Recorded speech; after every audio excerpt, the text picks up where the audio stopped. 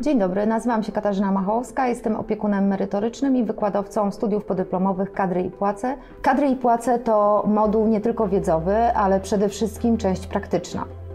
Podczas całych studiów nasi słuchacze prowadzą testowe działalności gospodarcze w aspekcie zarządzania zasobami ludzkimi. Przygotowują się do prowadzenia działów kadrowo-płacowych, prowadzą dokumentację, zatrudniają pracowników, prowadzą ich przez cały stosunek pracy, rozliczają wynagrodzenia, rozliczają czas pracy. Pracujemy analogowo na dokumentacji przygotowanej przez wykładowców. Nasi wykładowcy to przede wszystkim praktycy. Praktycy z wieloletnim doświadczeniem, zarówno w pracy zawodowej, jak i z doświadczeniem w prowadzeniu zajęć warsztatowych, zajęć szkoleniowych z dziedziny kadr i płac.